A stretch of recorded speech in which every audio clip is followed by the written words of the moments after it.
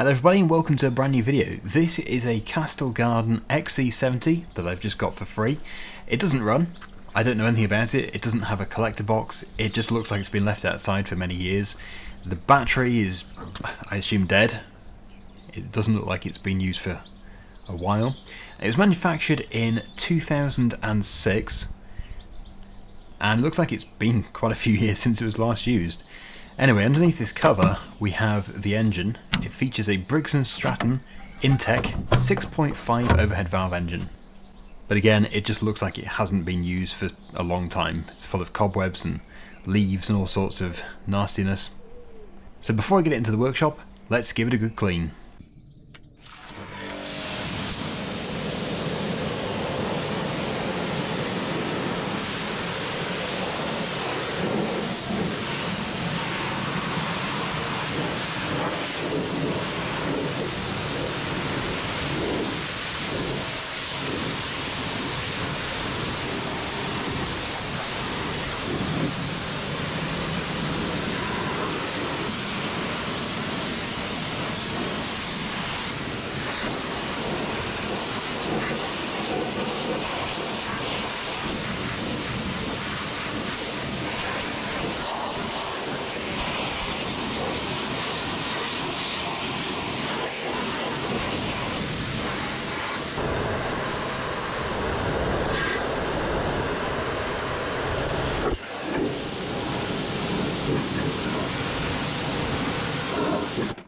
Okay, I got it into the workshop. I can now give it a quick check over to see exactly what is wrong with this.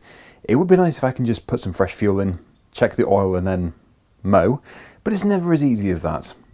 So let's see exactly what is wrong with it. My first check is going to be the oil. It's always a good starting point.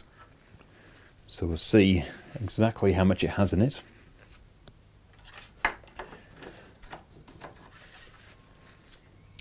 Okay, so it looks like it does have quite a lot in it. That is well over the full mark. Uh, and it also smells like fuel.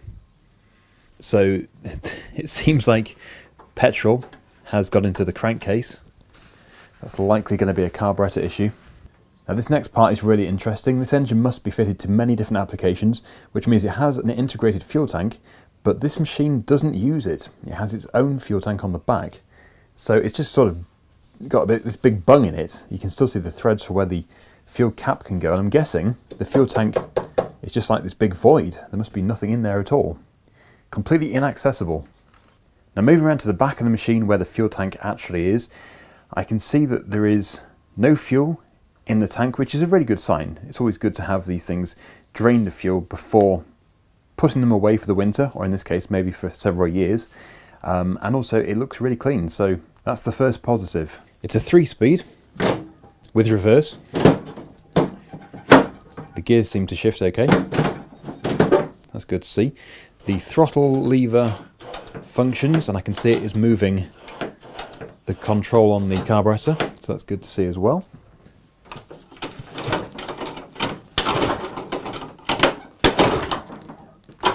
Okay, the engine does pull over okay, but that does get jammed uh, occasionally. It is also an electric start though, so hopefully we can start this engine off the key. So my next check is going to be underneath the air filter cover. We'll see if it has an air filter, and then we'll check for spark. Now it should have two screws, one here and one here, uh, but this one's missing. How thoughtful of the person who lost it. It's given me a, an easier job. I only have to remove one. Okay, this should lift off. Yeah, I don't think that's been changed for a while, but at least it has one. Underneath, it looks fairly clean. The ignition switch is down here next to the deck. I'm not too sure why. Maybe it doesn't work, or maybe they just lost the nut. But that should go just there. So I'll have to find a nut for it. We'll put it back. Because I've removed the air filter box, I have now revealed the spark plug. So this is a great opportunity to check for spark. I've got the ignition switch in the on position. The sensor on the back, which is for the collector box, has been joined together. so it thinks that the box is in place. Uh, the seat switch is bypassed as well, so really, this should work. We should have spark. Pop this spark tester in.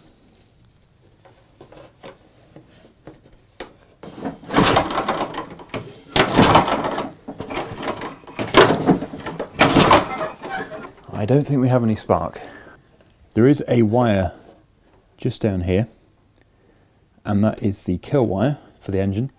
So if I disconnect that, we can then basically figure out if it's an issue with the engine or with a sensor, because now the sensors are disconnected from the engine. Let's check for spark again. I've just put a block of wood in there to make it easier to see.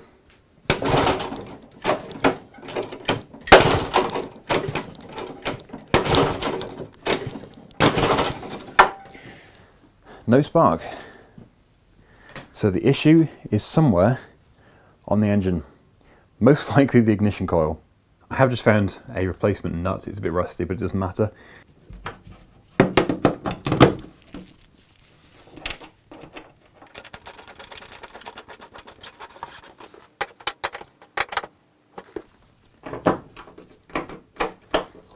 There we go.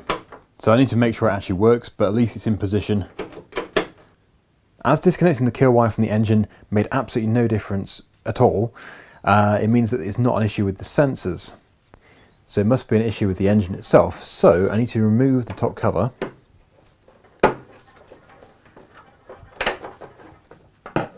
This will hopefully just pull through here. And then there are two screws which hold the red plastic cover on.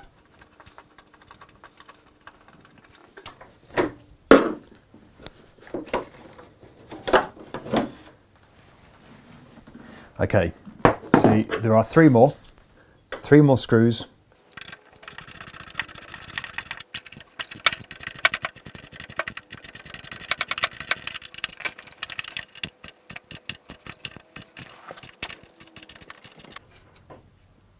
They are quite rusty, especially the back one, which was very stubborn to remove.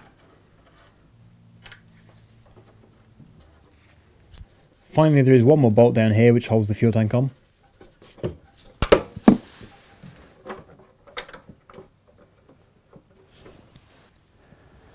And that is the fuel tank removed. Of course, there is no fuel line on here, as this tank is redundant, it's not being used at all. Now we have the top cover, so this is really getting close to where we need to be. We've got two bolts at the front, two at the back, the dipstick and then that should pull off.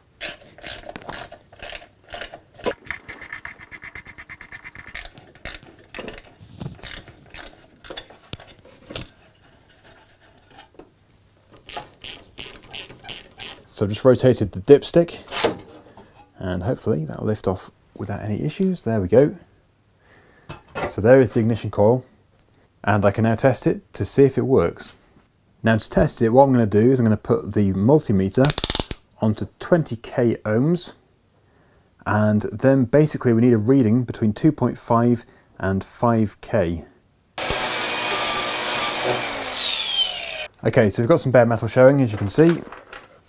That's all we need. Put the positive into the end cap. Put the negative to here. And it looks like we have a good result. 4.59 so that means that the coil itself is likely not the problem. The next thing to check is the air gap between the flywheel magnets and the contacts on the coil so I can already see actually that the gap on this side is much larger than the gap on this side so it should be 10 thou I'm going to start with 12 that goes in no issue at all. So maybe the air gap is wrong and maybe it's too tight on the other side. Let's just see what we can go up to. This is 15. Yep, 15 goes through. Now for 20, double what it should be. Yeah, that just about squeezes through. So that is out of spec on this side. Um, as I said, the other side looks much tighter, so I'll, I'll put it back to 10. Okay, 10 just about fits through. But I can't see why that side would be causing the issue. This side is out of spec, so it needs to be reset. So I'll just loosen the two bolts first of all. That should allow me to be able to move the ignition coil, just sliding backwards. And then I can snug them up again. Then I can move the magnets into position. There we go. The piece of card to set the gap can be slid in. You can also use a business card slacken the bolts and it should snap into position.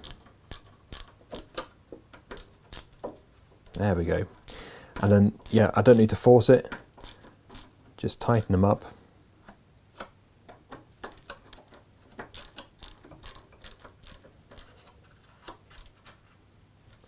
And the gap is set. So now we have the correct air gap on both sides. So that might have been the problem. As you can see, it is so grimy under here. And before it's all put back together, this needs to be cleaned out. Also, before I do put the top cover back on, I really want to try and get the electric start to work because if we do have any issues with it, with the starter motor, then we're going to have to take the top cover off again. So uh, yeah, next step is going to be to clean it. Then we can see if it will turn over on the key. When I blow this all down with compressed air, it's going to put bits everywhere. So I'm just going to bung up the intake with some paper towel.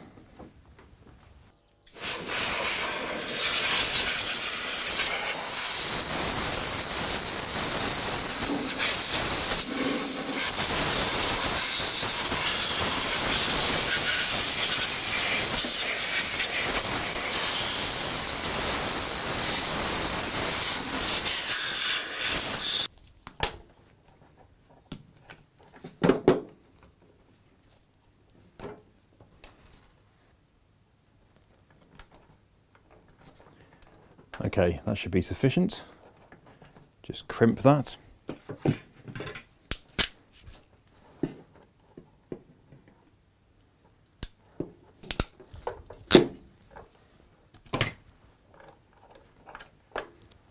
In the end, I decided to replace both of them.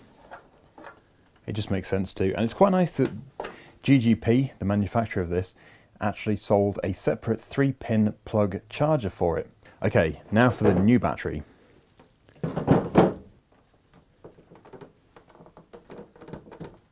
Pink goes on to positive. It was one day red, but of course it's faded. And the black goes on to the negative.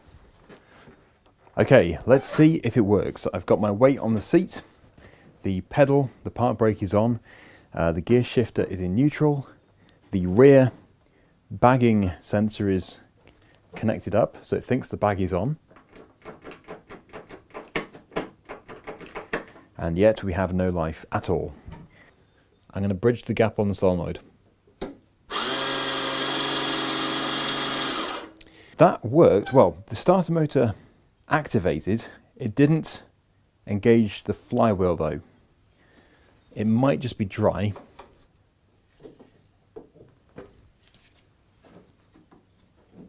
see if we can free it up a bit. There's quite a lot of resistance. It's probably a buildup of dirt and it hasn't been used much clearly. But at least it does work. The starter motor does actually spin.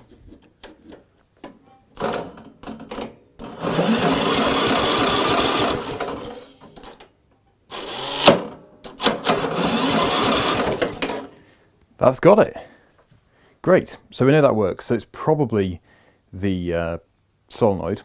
Following another check of all the safety switches, I discovered the one on the back, which I'd already joined together, uh, was actually broken further into the machine.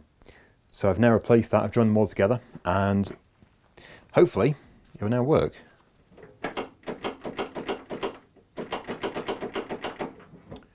Well, the solenoid is clicking, so that's progress. But it's not enough to get it to go, so the, the solenoid might still be faulty or it might just want some persuasion.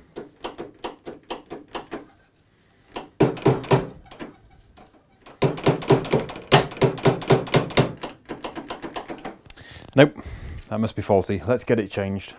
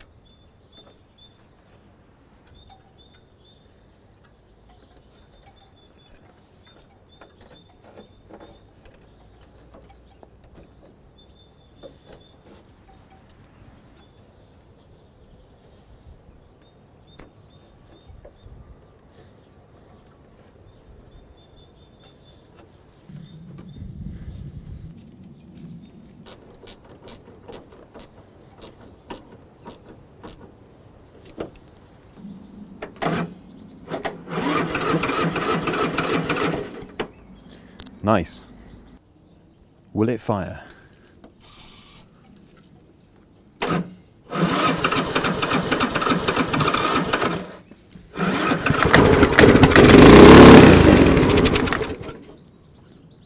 Well, it did fire. Um, I don't know how well the smoke showed up on camera, but it absolutely poured out for the few seconds that it ran for.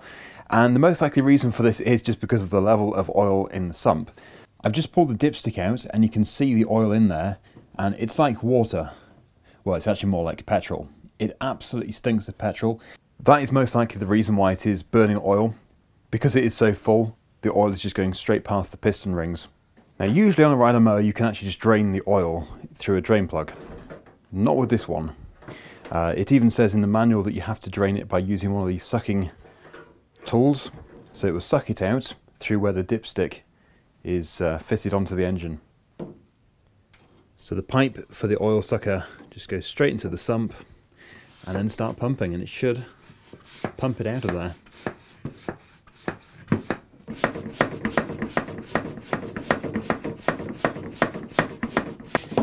Well, I think that's pretty much got it. It's not really possible to completely empty the sump with this method, but it has got the uh, the most of it out. You can see, well, I don't know how well you can see actually, but uh, yeah, that is that is pretty full. It did have some in it originally, but it's a lot fuller than it was before. There we go. There's a good view into the sump. So you can see it's very empty there.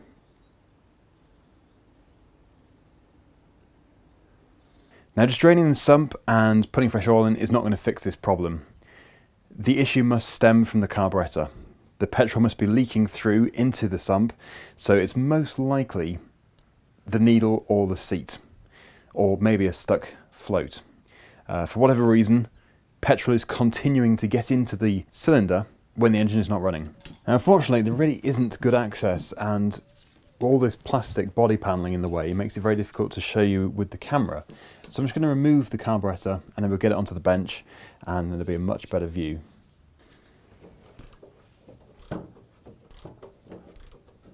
Right, so with the two bolts removed, that'll just pull out. And there we have the carburetor. So I can now remove that.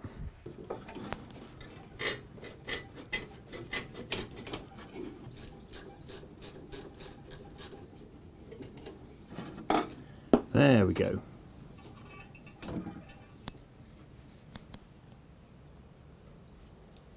So let's take a look inside the carburetor. I'm not too sure if there's going to be any fuel in it. Probably unlikely, since the tank is dry.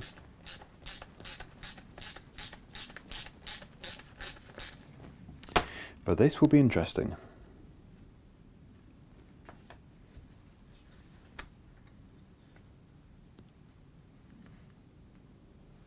Okay, not too bad. Definitely very dry.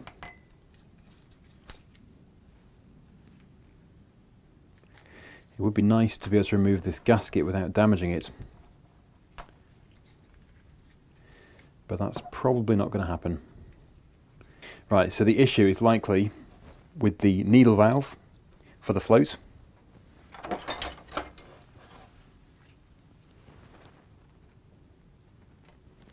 Slide the pin out. That is the needle, which looks to be in good condition. So it's likely the seat which is down in there. You can see the red seat in there. I've put the carburetor back together again and I've put some fuel into this tank. I'm going to raise the tank up above the carburetor and that will allow the fuel bowl to fill and we'll see if it overflows out of here or the other side. Uh, it shouldn't do. It should stop filling once it reaches the correct level. And there it goes. So that fuel would now be going through the intake into the engine. It would tend to seep past the rings and that's why we see it in the crankcase.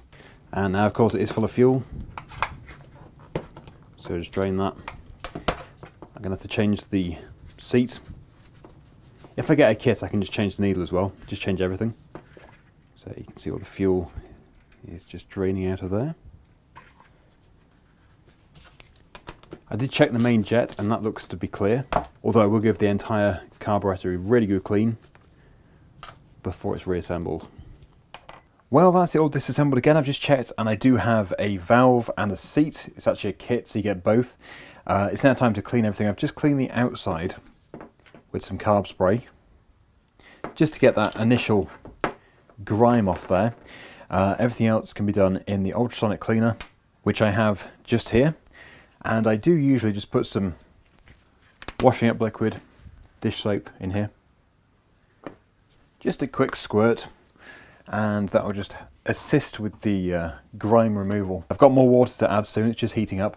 And then we have the jet, the pin and the bowl itself. There is also the float, uh, which I, will probably just float in there. You can put it, try and trap it underneath, but really they clean up pretty easily. So I'm not too worried about the float itself and obviously the needle valve is going to be replaced so I don't think there's anything wrong with it it's just yeah we'll put it to one side and then once I've cleaned everything I'll pick out the seat uh, you can do that first. It really doesn't matter. But yeah it's just the order I'm doing it in. So I'm going to get the uh, top up of hot water and then we'll switch it on. Okay.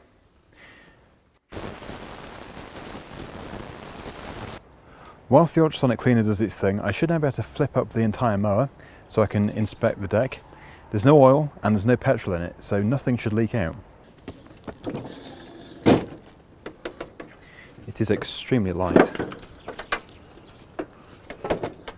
Okay, there we go. I do like to think of these as ride-on push mowers because the deck is about the same size as a really big walk-behind mower but you get to ride it, which makes it more fun. Okay, so actually, um, well, apart from the blade being on upside down, it doesn't look terrible. Yes, that blade is on upside down. Amazing.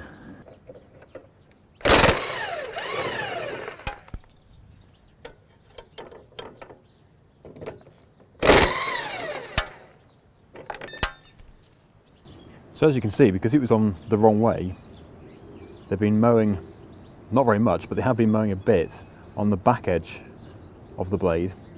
This is the cutting edge here, and it's never cut a single blade of grass, so all that needs is a clean. It doesn't need a sharpen, because it is basically new. Rusty but new. Yeah, it looks like they did fit it and then the mower broke. So that's a good blade.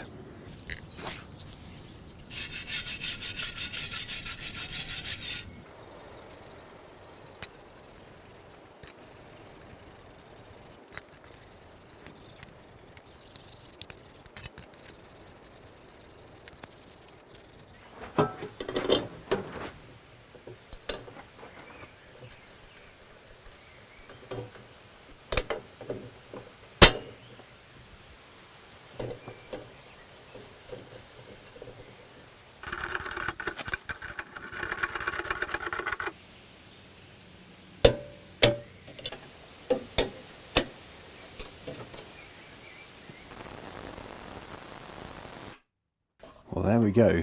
25 minutes in the ultrasonic cleaner.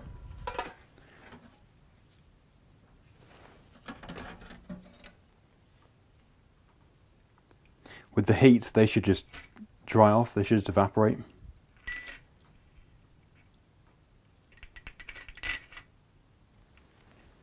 Well, it's all looking a lot better. The bowl has come out really nicely. There's the main jet, the float, which was floating, the pin, which wasn't even that dirty, and the carburetor body itself. But yeah, that's all looking a lot cleaner. So now I'm just going to dry everything off with the airline and then I'll pick out the seat.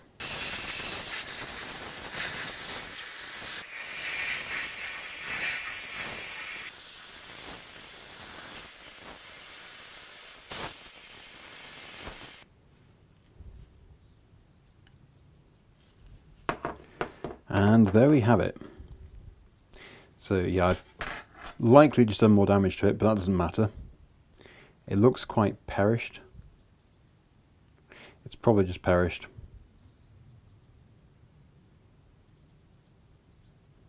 So that can be replaced with a new one.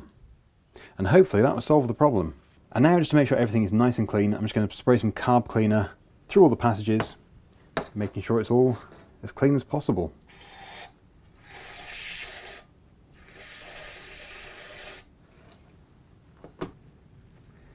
And the same with the jet.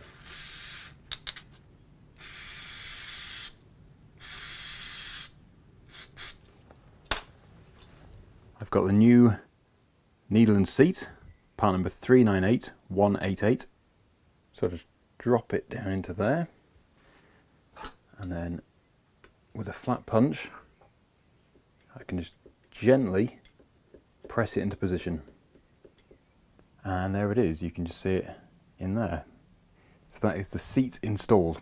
Now the rest of the carburetor can be reassembled. The part number for the bowl gasket is 693981.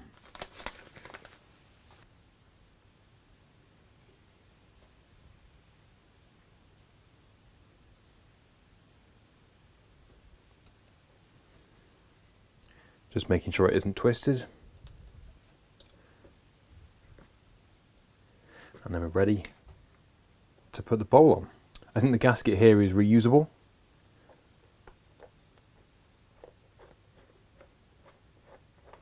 And once this is done, I can give it a test just to double check to make sure it isn't overflowing.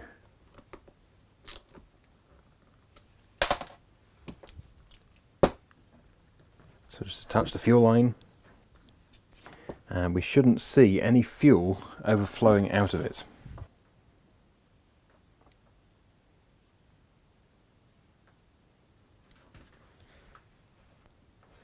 That's looking promising. That's great news. So I can hear, just by shaking it very gently, that the bowl has filled up with fuel. Also, it's considerably heavier, uh, but yet nothing is coming out of areas where it shouldn't be. All I need to do is reinstall the carburetor and of course all of the other components. I have also bought a new breather tube, part number 692937. If you don't have a good breather tube, like if it's all perished or cracked, uh, or even missing altogether, you might find the engine doesn't run correctly. And I've also got a new gasket, you can't really see that in there, but it is part number 692667, and that is for the carburetor. It's this gasket here, and that fits just there on the carburetor.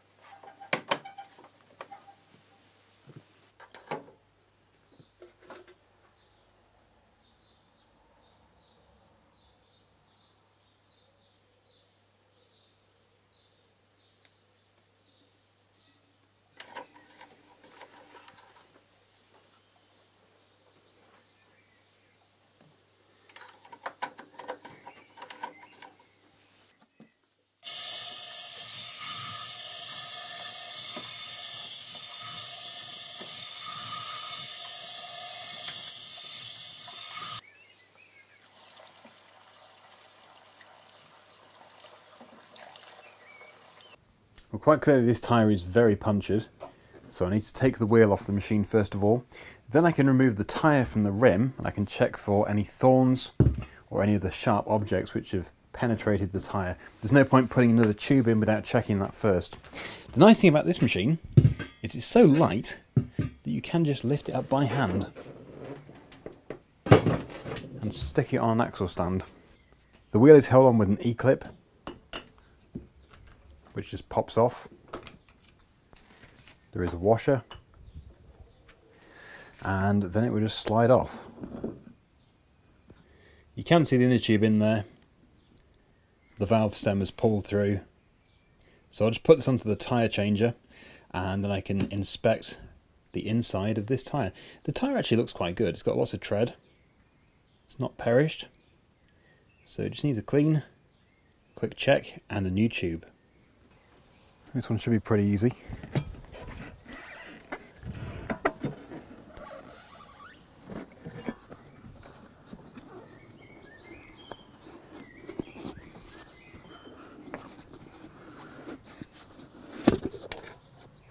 With the old tube out, I can now keep the tyre like this, just partially on the rim, see if there's any thorns in there, and then just lift it up and feed the new tube into here. Just feeling around on the inside, see if I can feel anything sharp.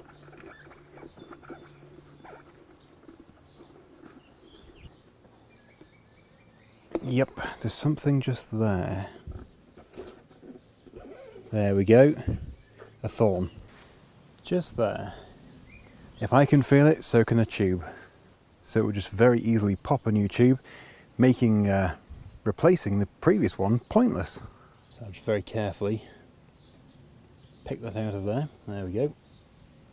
That's the whole thing, including the sharp point. And I think that is everything.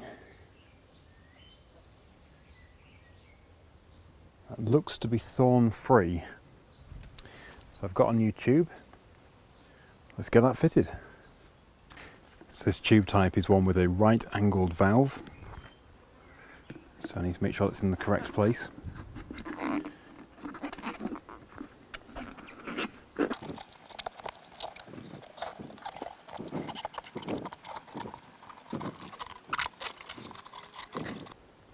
And what I like to do is put a fuel line clamp on it so it can't pull through whilst the tyre is being mounted. Now I might be able to get away with not using any tyre mounting compound on here because it is such a tiny wheel. Just got to be careful not to nip the inner tube.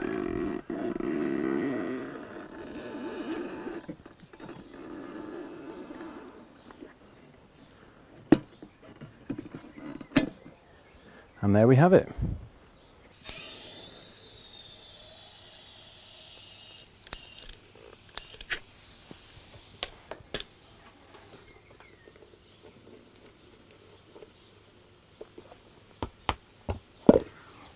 Give that a very quick smear of grease.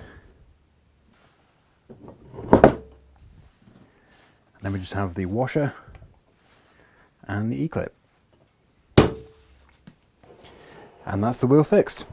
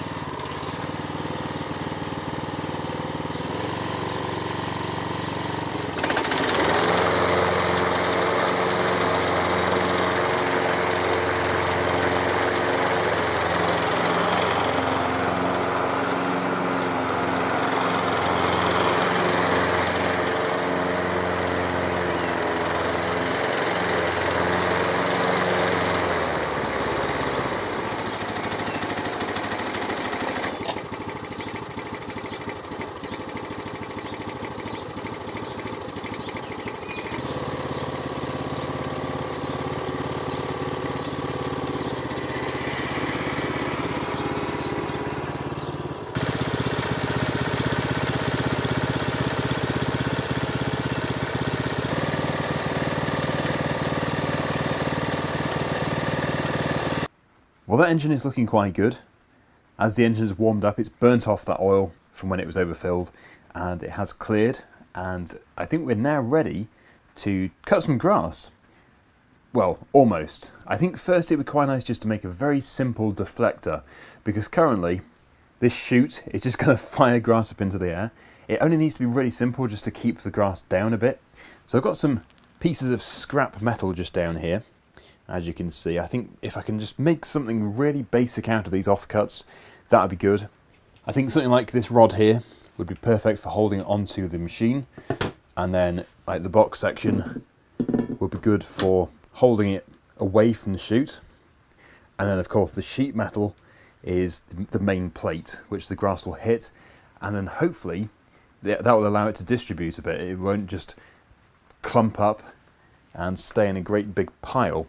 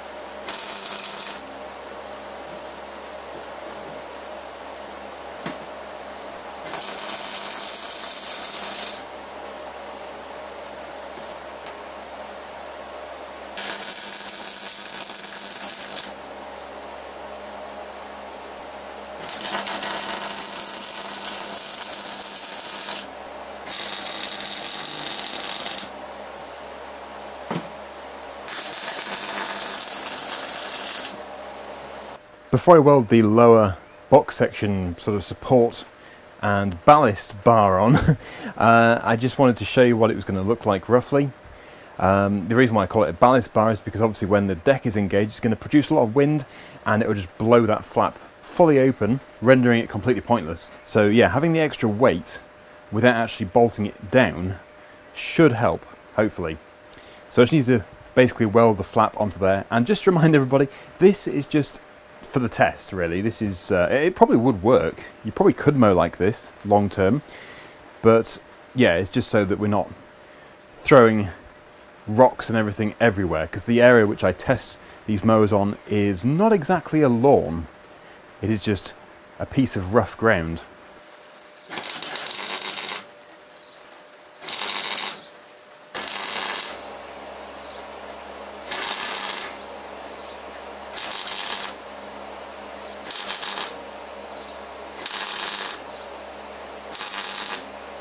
And there we have it, a nice quick deflector. It should do its job. Uh, it might not be pretty, But as long as it works, that's all that matters. And because we've got this curve on the top here, that should prevent the grass from coming back up and hitting me. Um, some of these actually that you can buy do have sides to them, but all that's going to really do is act like a combine harvester and it's going to create a swath. So yeah, we'll have to see how that goes. We'll have to see what sort of finish it leaves.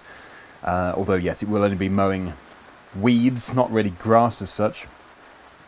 But yeah, it'll be interesting. I should think it'll all come firing out the sides uh, as much as it does underneath. But yeah, nice fun test.